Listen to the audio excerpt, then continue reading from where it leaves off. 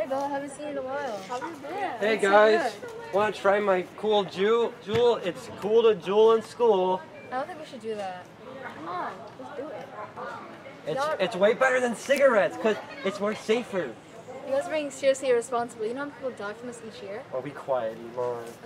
I'm sick of you guys. Whatever. You're really annoying. Yeah, she sure is. So do it. I'm so good at vaping.